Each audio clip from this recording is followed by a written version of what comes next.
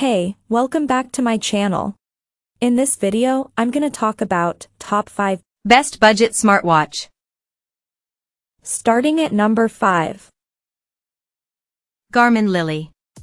The Garmin Lily is a small and stylish smartwatch that will make you forget the bulky GPS wearables the brand is best known for. A fashionable offering designed with first-time, female smartwatch users in mind, the $199 Garmin Lily is a gamble for the company that's paid off. In addition to a small and barely there feel, the display is accentuated by a patterned lens that somehow doesn't obstruct the content you'd want to see at a glance. Of all the best Garmin watches, even the previous lifestyle model attempts made by the company, this one looks the most like actual jewelry. Coming at number 4.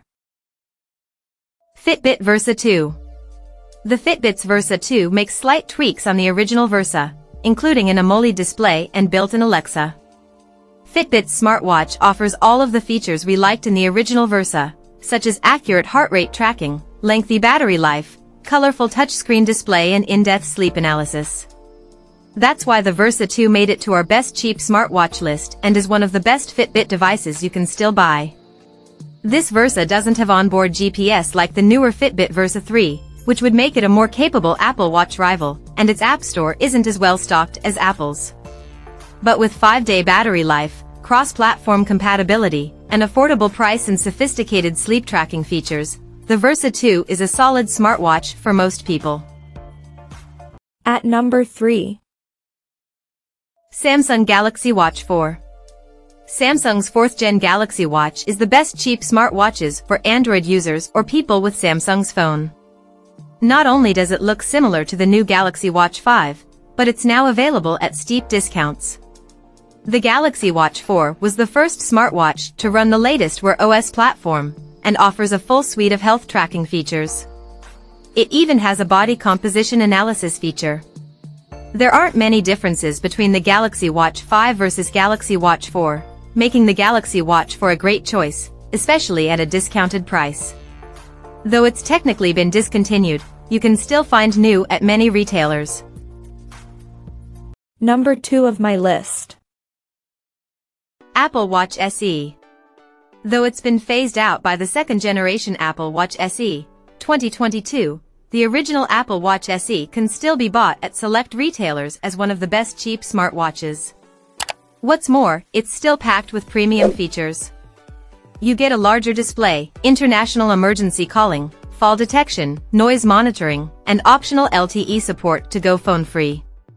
Comparing the Apple Watch SE 2022 versus Apple Watch SE, there's not too many big differences.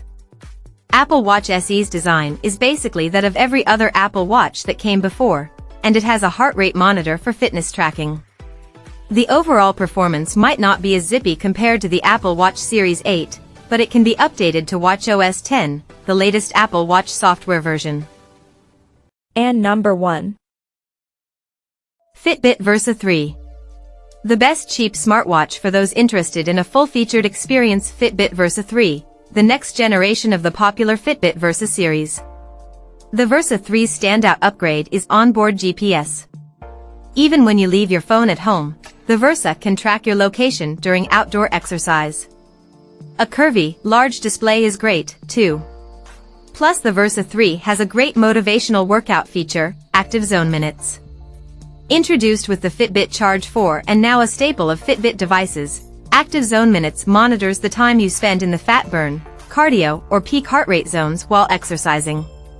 Your goal is to earn the AHA's and WHO's recommended 150 active zone minutes each week.